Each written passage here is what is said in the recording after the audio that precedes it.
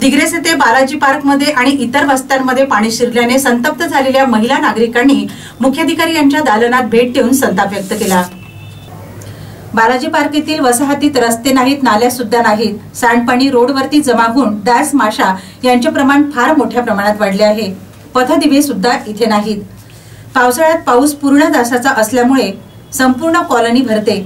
घरासमोर नद्या तयार होत असतात. परिणामतः रोडवर विंचू साप कीटक यासारखे जीव तरंगताना दिसतात. सरपटणारे प्राणी घरात सुद्धा येतात. या कारणामुळे समस्त महिलांचा जीव धोक्यात आलेला आहे. तसेच येथील रहिवाशांना डेंग्यू मलेरिया यासारखे रोग उद्भवतात. येथील रस्त्यावर पायी चालणे अशक्य झाले आहे.